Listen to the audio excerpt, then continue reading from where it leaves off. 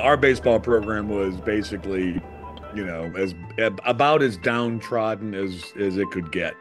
The Big 12 baseball coaches were not happy that West Virginia got into the league because they thought, okay, West Virginia is going to really pull down our RPI.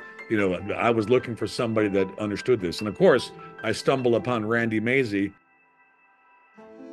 Uh, my vision for this program and uh, in future years in the month of June is is to be holding practices, not press conferences.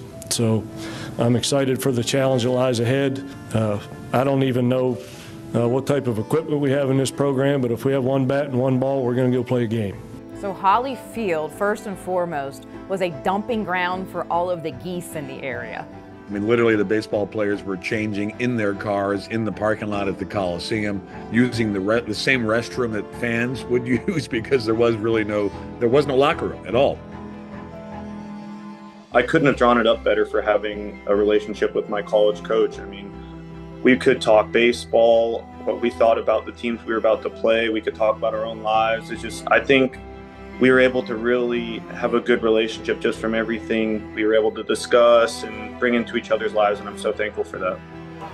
Yeah. They still don't know. Tip your hat to the crowd, get a nice ovation. If they, what if they don't clap?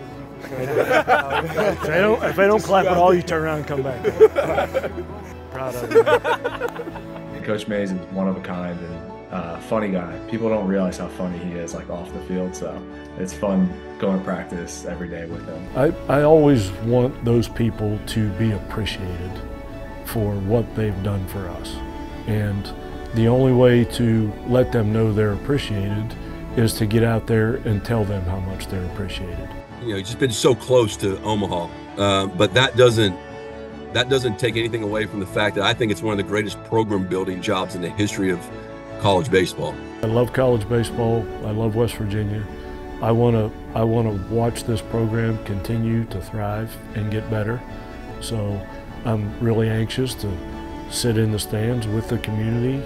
Yeah, we left it in a better place, but way more ahead to come.